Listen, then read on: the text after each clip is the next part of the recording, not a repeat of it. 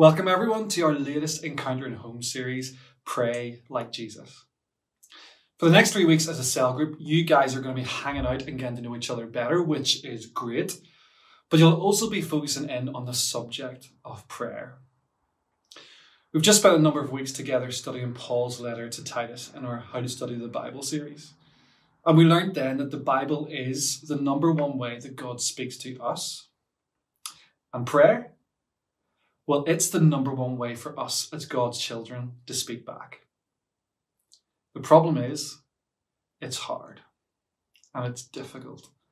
And it is way too easy for all of us to go through our lives, even as Christians, hardly ever talking to God in prayer. There have been times in my life where I've went days and even weeks without praying. And I'm sure you yourselves and your leaders have had similar experiences. And it doesn't really make any kind of sense, does it?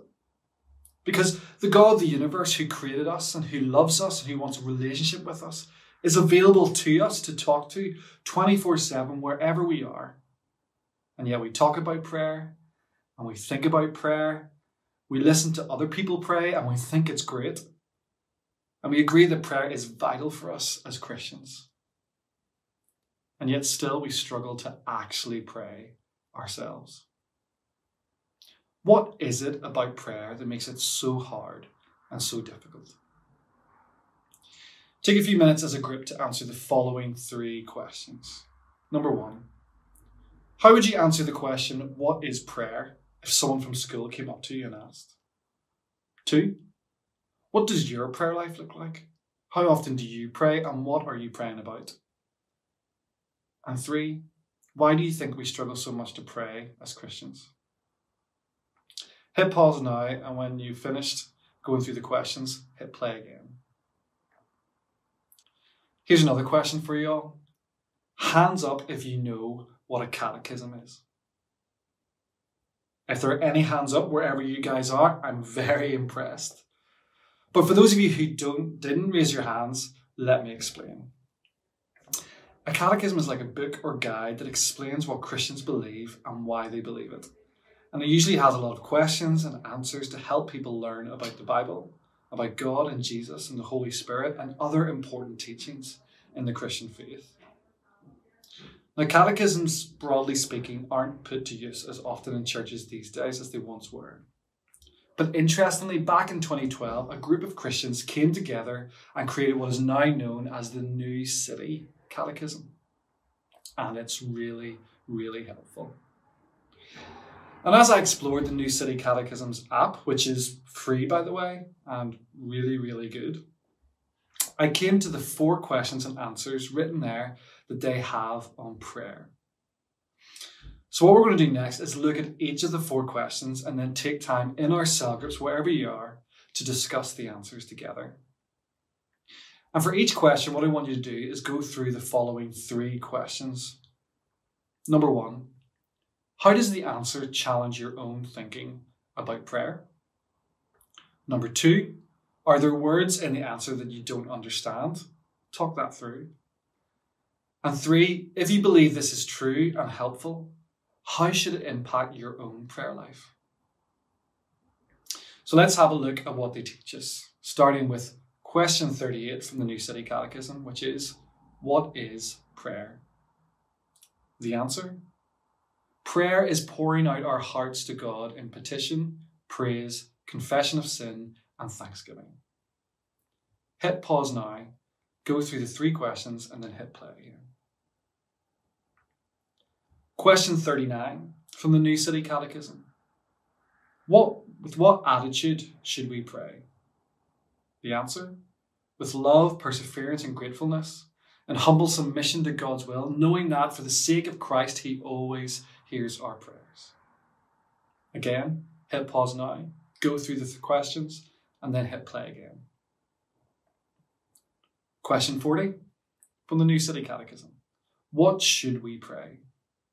The answer the whole Word of God directs and inspires us in what we should pray, including the prayer Jesus Himself taught us. You know the drill by now. Hit pause, go through the three questions, and then hit play again. And then finally, Question 40 from the New City Catechism What is the Lord's Prayer? The answer Our Father in heaven, hallowed be your name. Your kingdom come, your will be done on earth as it is in heaven. Give us today our daily bread and forgive us our debts, as we also have forgiven our debtors. And lead us not into temptation, but deliver us from evil. One last time. Hit pause, go through the three questions, and then hit play again. Hopefully, those catechisms were helpful in getting some good discussion going about prayer in your groups. And I really, really do recommend that you download the New City Catechism app yourself so you can check out all 52 questions and answers. There's one for every week of the year. The final question on prayer from the Catechism simply laid out for us the Lord's Prayer, the prayer that Jesus used as an example to his disciples as he taught them to pray like he did when they asked. And for the next two weeks, this is the prayer that we're going to be focusing in on before considering another one of Jesus' prayers in our final week together. The section of the Lord's Prayer that we are going to explore tonight is the following Part 1 Our Father in heaven, hallowed be your name. Your kingdom come, your will be done on earth as it is in heaven. And there are two things I want to highlight about this part of the prayer before you go into some more discussion. And the two things are as follows The Lord's Prayer teaches us who we should be praying to, and the Lord's Prayer teaches us what we should be praying for. I'm sure a lot of you know the Lord's Prayer well. Maybe you even know it off by heart. I was taught it as a kid. But I wonder if you've ever stopped to think about the significance of those first two words Our Father. Jesus could have taught his, his first disciples to start their prayers with plenty of other options, like Dear God, or Creator God, or Lord of all the universe.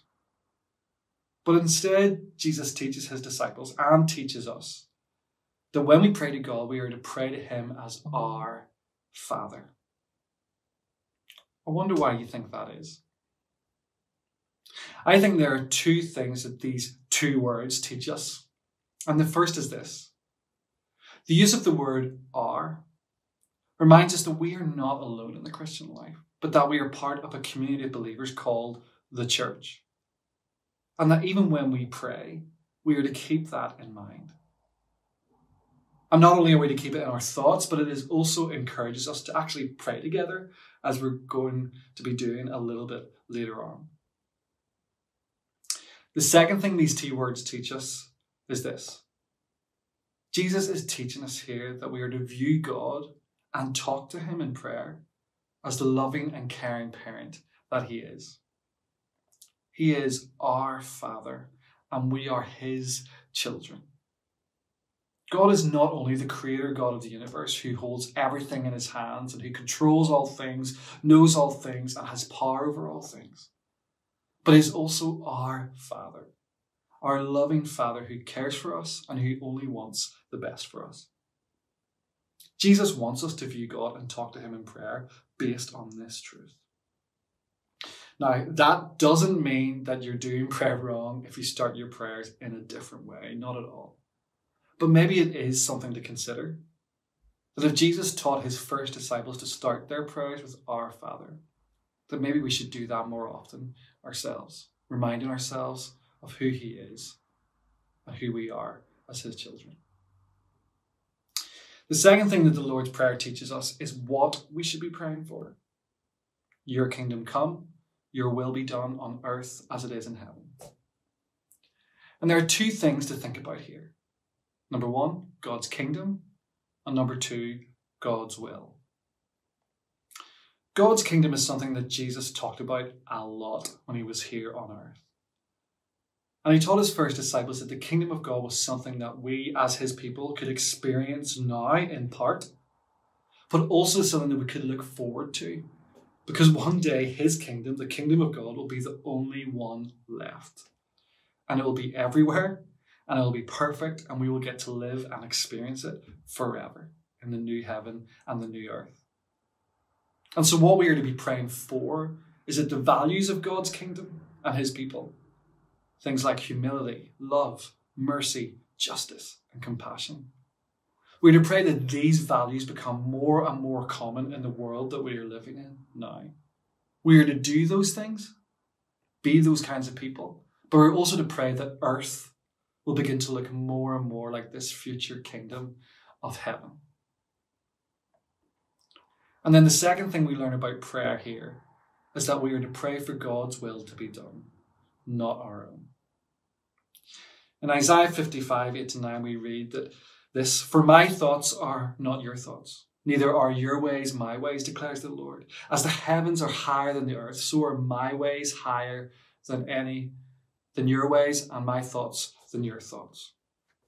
And basically, what God is telling us here is that He knows best in every situation, in every moment. So even when we're praying for something to turn out the way that we think it should, we actually need to pause and consider that God may want something different and that His will, His way, not our way, is actually the better way. And listen, that can be really, really hard. And in our final week, we're going to be focusing in on another one of Jesus' prayers that he prayed in the Garden of Gethsemane, where he prayed these words My Father, if it is possible, may this cup be taken from me, yet not as I will, but as you will. And the cup that Jesus was talking about was the suffering and pain and humiliation that he was going to face on the cross. And he pleaded with God to stop it from happening. Yet, in this really difficult moment, as he feared what was about to happen, he recognized that God's answer to his cries might actually be no. But that God's will was ultimately better, even if that was the case. And it was the case. God said no to Jesus, and God's will was done. And we can sit here now knowing with complete confidence that our sin has been dealt with on the cross because of that. And so to summarize, here's what we've learned from the first part of the Lord's Prayer. Number one, we remember that we are not alone in this life, but that we are part of God's family, the church. Number two, we are to pray for each other and with each other. Number three, we are to pray to God as our Father, remembering that He is our loving Father who always wants the best for us. Number four, we are look we are to look forward to the day that God's kingdom is all that there is. And in the meantime, pray that this world becomes more and more like it. And number five, we are to always pray in God's will, praying that it'll be done even if it goes against what we want.